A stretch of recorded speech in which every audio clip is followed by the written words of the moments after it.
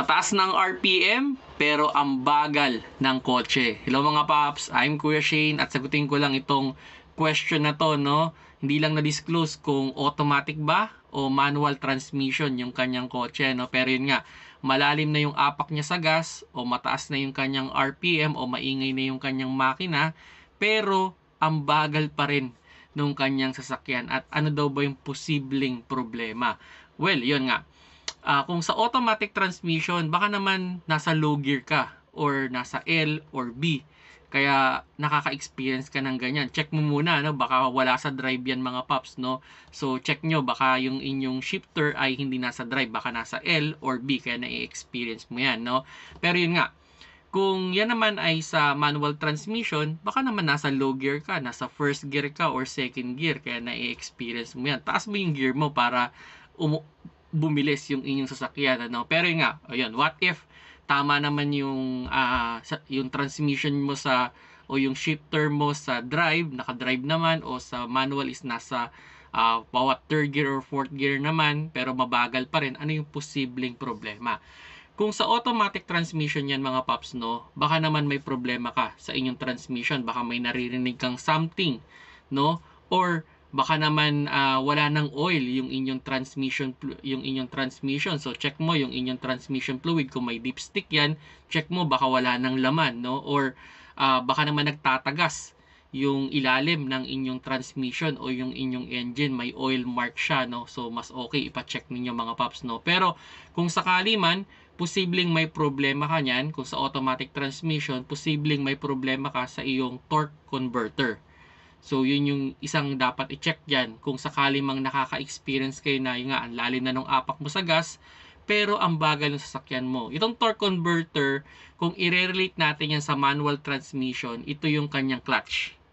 Okay? So, yun, kung mapupunta naman tayo sa ah, manual transmission, ang tawag dyan, pag nakaka-experience kayo yan, eh, posibleng slide clutch.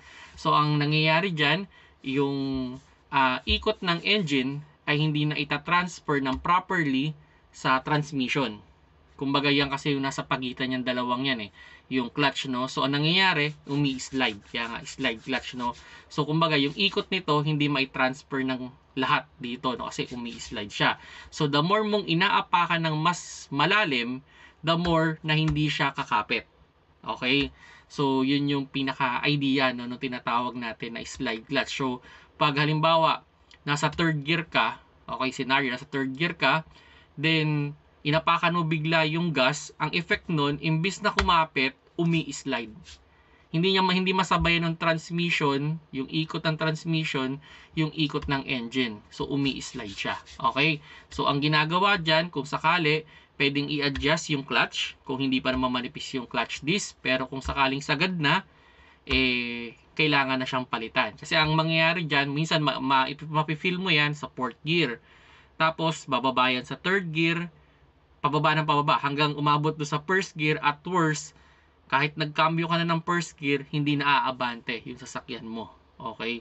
And yun, may possibility na makaamoy ka ng something na sunog sa inyong engine bay if nag slide na yung inyong clutch, no? So, yun mga paps, no? Kung sakaling ma-experience nyo tong scenario na to, ang pinaka-advise ko sa inyo mga paps, ipa-check ninyo sa mga trusted shop ninyo kung ano ba yung exactly nagiging problema. Kung automatic yan, ah yun, baka torque converter yung problema. At kung ah, manual transmission naman yan, eh baka naman yung inyong clutch disc. So yung mga paps, no, kung nagustuhan nyo yung video, paki-like at kung may additional pa kayong information, just comment down below na lang.